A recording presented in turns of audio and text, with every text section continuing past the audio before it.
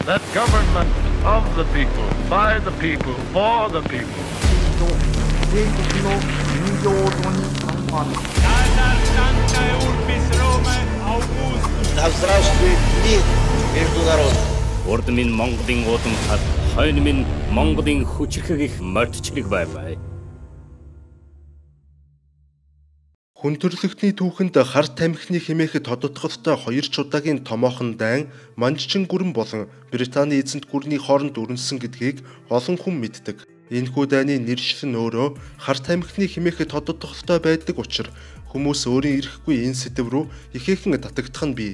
Тэгвэл хар тамхины дайн гэдэг нь чухам хүчрхэг эзэнт гүрэн өөрийн хүслийг биелүүлэхийн тулд илүү баян нь улам илүү баяжхын төлөө хийсэн дайн юм. Энэ бол арт түмэн хийгээд төр засаг сул дорой байвал улс үндэснээр хэрхэн бусдын иргэшээлд автаж шүдгүй арслан болон хувирдаг талаарх түүх юм. Тэгэхээр өнөөдрийн дугаараар хар тамхины 1 болон 2 дугаар дайны шалтгаанд нөхцөл дайн хэрхэн өрнөсөн, дайнаас ямар үр дүн гарсан талаар хүргэх болно. Сайн байцгаана уу? Өнөөдрийн хичээлээ эхэлцгээе.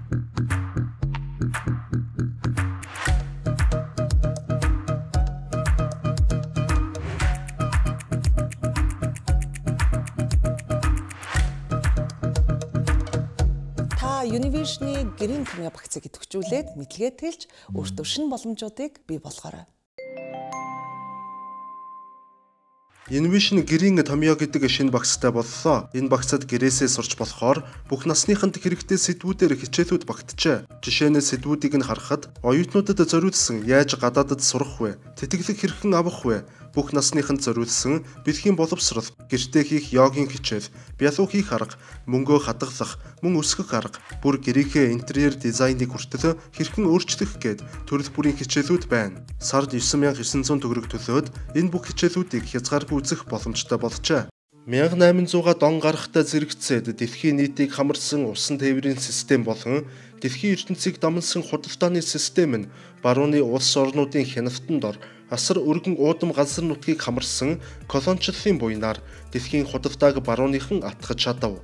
Барууны корпорациуд үндэстэн дамнсан компаниуд энэтхээс халуун ногоо худалдан авч усан тээврээр Европ болон Америкт харин өмнөд Америкаас кофе авч Европ болон Аз твд худалдаалах гэх мэтээр далай тэнгис барууны монарх гэр бүлүүдийн хянафтанд оров. Энэхүү дэлхийн нийтийн худалдааны системийн хамгийн том байна. Тухайн үеийн манжчин гүрэн байсан бөгөөд хүн ам ихтэй байсан тул барууны худалдаачид тэндээс өндөр ашиг олох боломж их байсан юм. Улмаар 1830-аад оны үеэс Мандчин гүрний дотор эдийн засаг болон улс төрийн хямрал эхлэхдээ зэрэгцээд тус улсад нийлүүлэгдэж буй опиумын хэмжээ айжм айжмаар нэмэгдсээр 1836 он гэхэд жил бүр 30 мянган хайрцаг хар тамхи хятадын зах зээлд импортоор орж ирэн борлогддог болов. Ерөнхийдөө бол Британи нь их гүрний дээрэнгүй колоничлалын бодлого хэрэгжүүлж байхдаа Манжчин улстай цайны наймаа хийж эхэлснээр хар тамхины хэрэглээг анх өргөн дэлгэрүүлсэн гэж хэлж болно. Англичууд цай худалдан авсныхан хариуд хятадуудад мөнгө төлөх сонирхолгүй байсан ба мөнгөний оронд хар тамхи оролцуулах санаа сэдэв. Түүхийг сөхвүүлэх хятадууд бүр 5 дугаар зуунаас хар тамхиг эмчилгээний журмаар хэрэглэдэг байсан гэдэг. Харин энэ сэдвийн хүрээнд бол британчуудын хар тамхиар худалдаа хийх санаа нь эхэндээ тэмч хурдан амжилт олоогүй боловч цайны төлбөрийг хар тамхиар төлөх болцлыг цуцшгүй санал болгосоор эцэстээ хятад иргэд хар тамхинд дуртай болж эхэлсэн байна. Чин улсын иргэд айжмаар хар тамхиг хэрэглэсээр 40 жилийн дотор гэхэд 120 сая буюу нийт хүн амын 3-1 нь хар тамхиг өдөр тутамдаа хэрэглэдэг болсон байв. Хар тамхины нийлүүлэлт асар өндөр байгаагаас болоод Манжчин гүрний гадаад худалдааны тэнцэл алдагдаж эхэлсэн ба хятадууд тухайн үедээ жилд дунджаар 7 сая долларын бараа бүтээгдэхүүнийг гадагшаа экспортлож байсан бол зөвхөн хар тамхины импортод гэхэд жил бүр 65 сая долларыг барууны улс орнууд руу гаргадаг аюултай нөхцөл байдал бий болсон байна.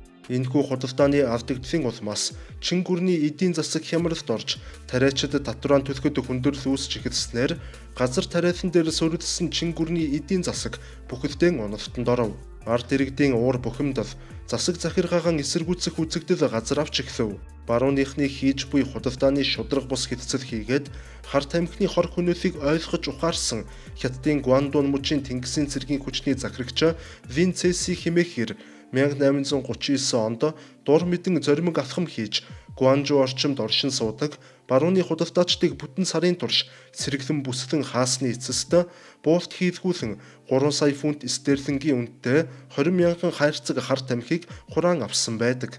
Хятад ахмадын энэхүү алхамд игдүүцэж зэвүүцсэн Британий тав 1840 онд Хятадын ирэг рүү Тэнгисийн цэргийн флотоо илгээснээр хар тамхины анх дугаар дайн ихэлсэн гэж үздэг бөгөөд Британчууд Хятадын цэргийг хэд хэдэн удаа бот цохиж устгасан байна. Үр дүнд нь 1842 оны 8 дугаар сарын 29-ний өдөр Нанжин хотод энхийн гэрээ байгуулснаар Британи нь Хонконгийн ардыг аль биесээр эзэмших болов.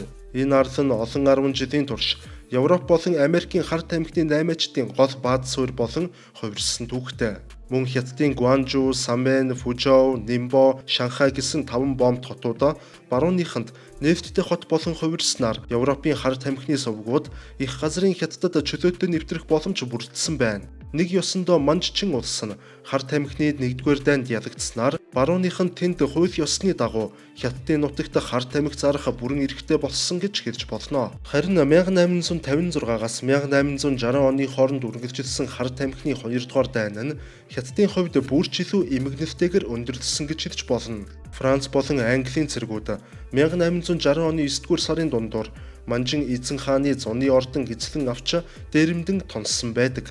Чин гүрэн дайнд ялах ямар ч найдваргүй байсан тул арга буюу 1960 онд Чин гүрэн холбоотнуудтай Бээжинд инхийн гэрээ байгуулснаар Хятад нь дайны төлбөрт 7 сая лам мөнгө төлөх болж Хятад дахь хар тамхины 8-га дахин хууль ёсны болгосон төдийгүй Хятад орон гадаадын бараа бүтээгдэхүүнд бүрэн нефттэй зах зээл болон хувирсан байдаг.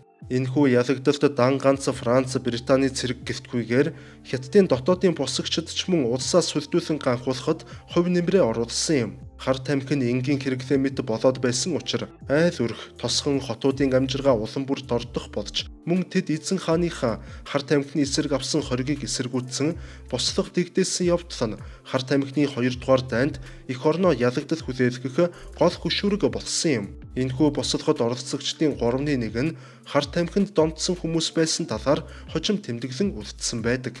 Бүр сүүлд 1895 онд Британий эзэн хааны хар тамхины комиссийн хуралдаан дээр Хятад дахь Британий консул Жеф Херст хэлэхдээ Хятад улс нь хар тамхичдын үндэстэн хിവэрэ байсан цагт Энэ улсыг цэрэг дайны ноцтой гүрэн болно хэмээн айх зүйл бидэнд байхгүй. Яагаад гэвэл энэхүү хорт дадал зуршил нь тэдний амьдрах эрч хүчийг сорон туйлдуулсаар байх болно хэмээн хэлсэн удаатай. Хятад хар тамхинд живж энэтхэг бирэм зэрэг баялаг ихтэй улсууд Английн колоничлолд зовж хэдэн мянгаараа үлбэрч өгч байсан тэр үед Английн эзэнт гүрэн Мандан Бадарлынхан оргилд туйлж явсан юм. Чин гүрэн задран унсны дараач тэр хар тамхины хэрэглээ хятадд маш хүчтэй байсан бөгөөд Чан Кайшигийн засаг захиргаач хар тамхиг хориглож дийлээгүй байдаг.